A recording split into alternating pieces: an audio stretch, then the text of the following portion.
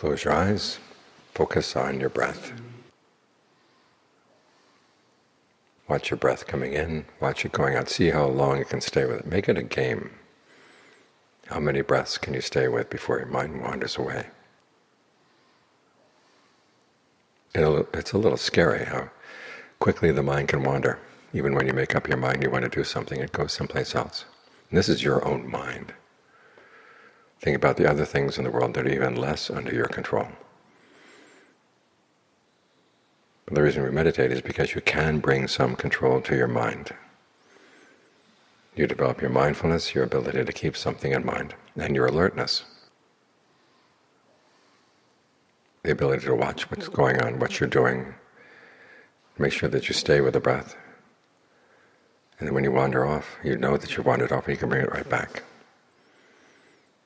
Because these qualities of mindfulness and alertness are really important for every task you would ever want to do in life.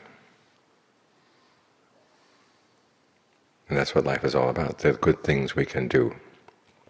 All too many people live for whatever nice things they can experience. But where do good experiences come from? They come from our own actions. So every day you want to make sure you've done something good with that day.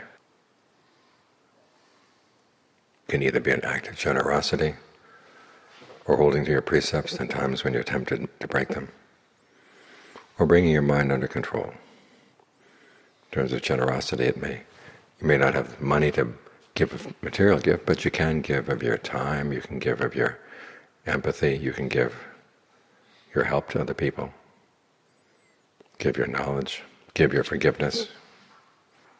These are all good things to give. They don't cost any money. And it's because of the goodness we've done that we actually have something to show for our lives. Because life is very short even people who live to be a hundred years old. It's not the case that they have a hundred years stashed away someplace where they can bring them out and look at them again, experience them again. They're gone. All that's left is the memory, and you know what happens to old people's memories. It gets very spotty, with big holes. What you do have, though, is the goodness you've done. If you haven't done any goodness, then you have nothing. Sometimes worse than nothing if you've done things that have harmed other people. It's like you've been weighing yourself down. So try to be heedful of the fact that every day slips by, slips by, and you want to have something to show for the fact that it has slipped by.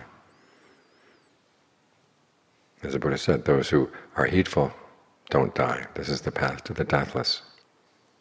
Heedless people are as if they're already dead. In other words, time passes, but they don't have anything to show for it. So make sure that every day you choose to do something good. Help other people close to you, help other people further away. And make sure that you get your own mind under control.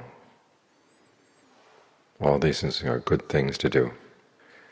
And they stay with you. The goodness that you've done goes with you. As the Buddha said, it's like a shadow that follows you. It doesn't weigh you down. It's always there when you need it.